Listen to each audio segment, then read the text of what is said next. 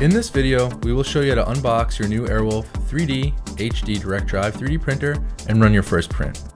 You will need a pair of scissors, a razor blade, and some cutters.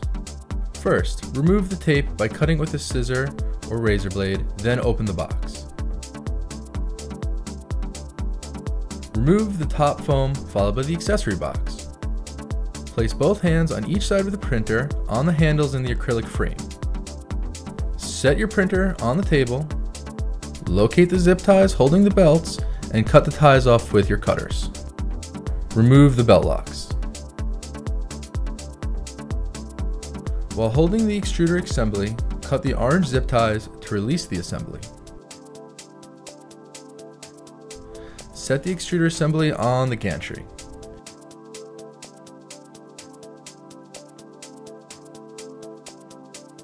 Take the three screws and the 4mm Allen wrench from the accessory box.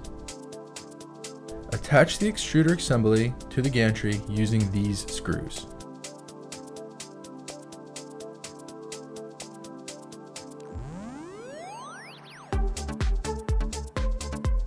Connect the guide tube to the end of the extruder and to the other end of the back panel.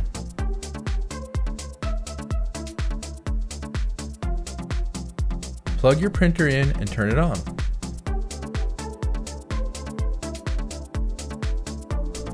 Using the LCD screen, navigate to the Auto Home command. The bed assembly will move up and you'll be able to remove the bottom pieces of the foam.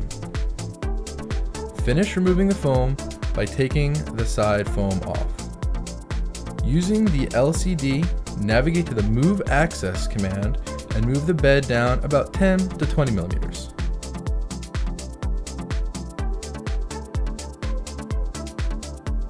On the LCD, select the Preheat ABS feature. Get your filament ready. cut it to a point. Mount it to the left spool holder on your printer and feed it through the back port up to the tube entry. Keep pushing it through the tube until it reaches the extruder. Apply pressure on the filament while turning the large gear clockwise until you feel it catch. Continue rotating clockwise until you see the material start to come out through the nozzle. Remove the glass from the accessory box and prepare it by applying the included Wolfbite bed adhesion solution. Cover the entire glass with a coat of Wolfbite.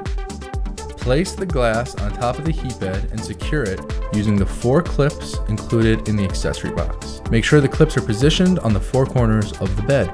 Place the left front clip 4 inches from the edge to allow enough space for the hot end to move into the home position. Remove the SD card from the SD card adapter and insert it into the slot on the LCD display. On the menu, select Change SD card. Now select Print from SD and then click your desired file. You're all finished. Your print will begin shortly.